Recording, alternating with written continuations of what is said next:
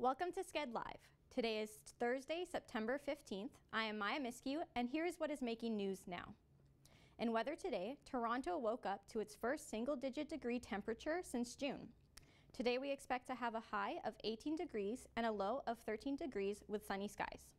We spoke to some Humber students to see what they thought of the change in weather today. Hi, I'm Maya Miskew. We're on site at Humber College Lakeshore campus. I'm with Samantha, Samantha, Sol, and Samira, and we're going to talk about the weather today. So, how do you guys feel about the change in weather this morning? I love sweater weather, so I was very keen on grabbing my sweater and putting it on. Your Humber sweater. My Humber sweater, of course. Yeah, and I kind of like the coolness of the weather. Mm-hmm. How about you? It's like a transition from summer to autumn, so I can see like the leaves like turning orange. It's like it's like a blend of like summer and fall, so I like it. For sure. And this morning, when you guys got dressed and everything, did you check the weather before you chose what you were going to wear? Um, I checked the weather last night. Um, I commute from Kitchener Waterloo, so I have to be prepared the night before. Um, and I saw that it was only going to get to 18 degrees today in Etobicoke, um, so I prepared um, a t shirt and a sweater. Great. And now that the weather is getting cooler, how do you guys plan to stay warm? Um, sweaters when appropriate. You know, if you don't have a jacket, I would suggest you purchase one because it's gonna get colder from here. So yeah, just making sure that I'm layering clothing so that I'm keeping myself uh, warm. Ten thousand layers of clothing and vitamins. vitamins. I also recommend appropriate footwear, just like layering. I wear lots of socks and big boots um, because the campus is quite large, especially depending where you park. Um, so wearing the appropriate footwear really helps. Okay, thank you all so much. And again, I'm Maya Miskew. We're on Humber campus. Thank you so much. Thank you. Thanks. Thank you.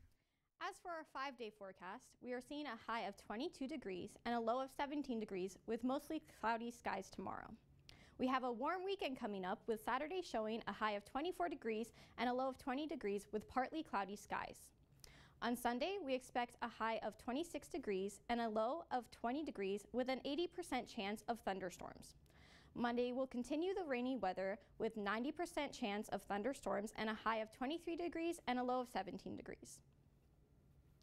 Patagonia's billionaire founder, Yvon Chouinard, is giving the entire company away to fight climate change. Chouinard worked with his family to create a structure that will enable Patagonia to continue to operate as a not-for-profit as a for-profit company whose proceeds will go to efforts in fighting climate change. The family donated 2% of its stock and decision-making authority to a trust which will oversee the company's values and mission. The other 98% was donated to a nonprofit called Holdfast Collective, which will use the profits to continue their mission to fight the environmental crisis and protect nature and biodiversity. That's all for weather. I am Maya Miskew, and here is Veronica David with news. Thanks, Maya. I'm Veronica David, and here's the news for today. An overnight collision between two tractor trailers leaves two males injured. The collision occurred around 2 o'clock this morning in Mississauga along Highway 401 at Mavis Road. One of the victims has been transported by air to a trauma center with life threatening injuries.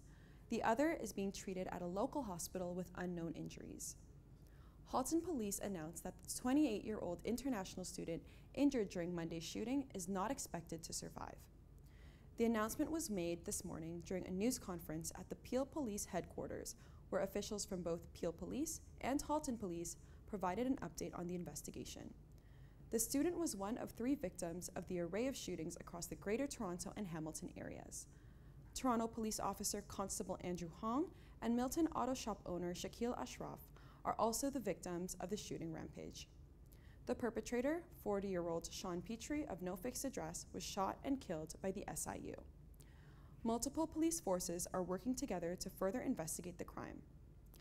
A York Regional Police officer has died in a head on crash in Markham Wednesday morning.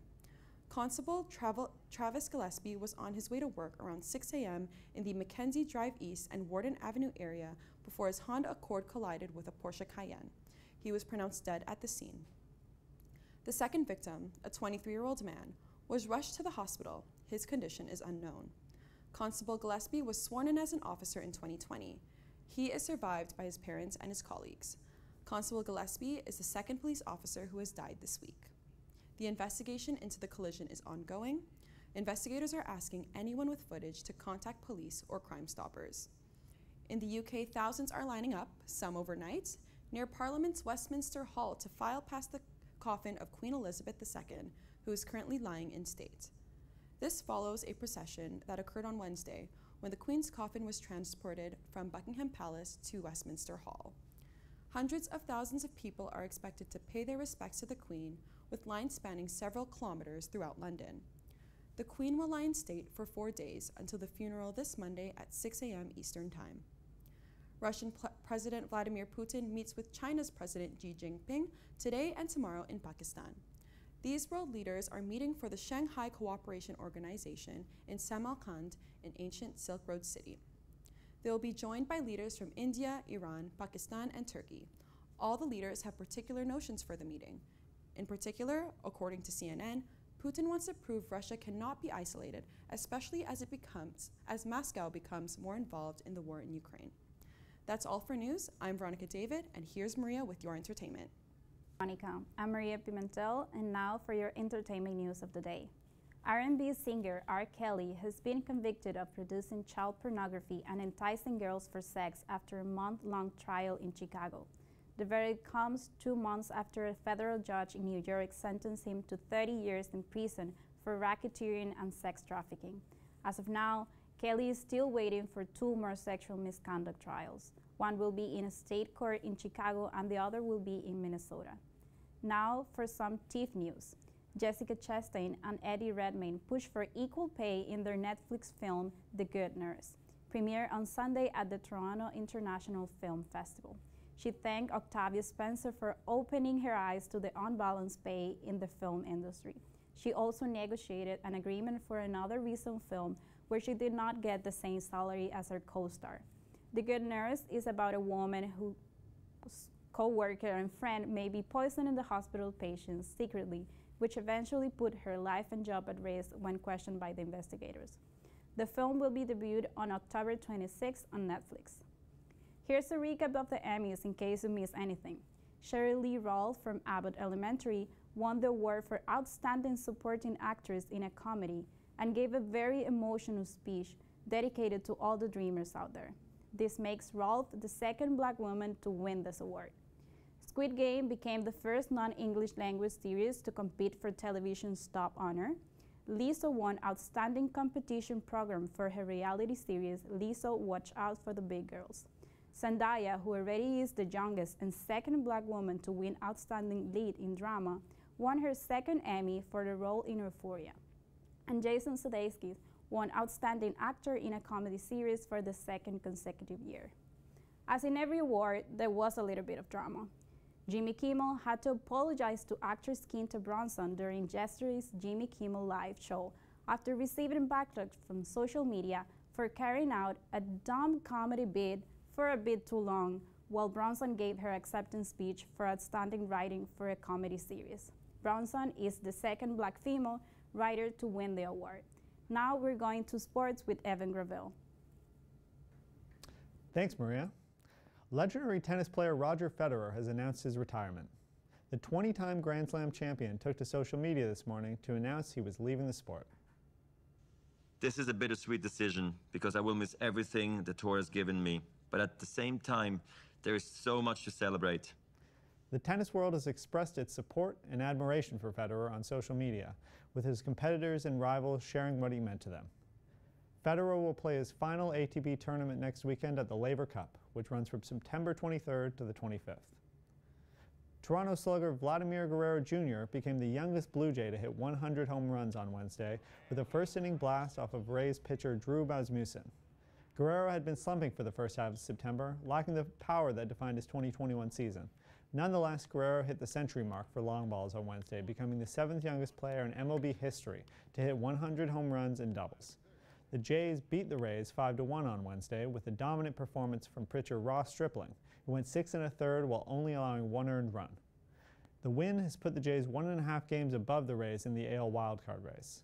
The Jays finish up their series against Tampa Bay today at the Rogers Center with a 307 first pitch. The Minor League Baseball Association officially voted to join the Major League Players Association yesterday. The move comes after repeated calls for better housing, protection, and pay for minor leaguers. The MLBPA is now officially the bargaining representative for minor leaguers, which will allow them more leverage to make demands of team owners. While a collective bargaining agreement was just signed this past season, there will now have to be a new CBA negotiated to include the new members of the MLBPA. The Humber Hawks recognized two athletes of the week for September 5th through the 11th. Softball outfielder and pre-health sciences student Hannah Koziolik has been integral to the Hawks 4-0 start with a 500 batting average and an OPS of 1.300.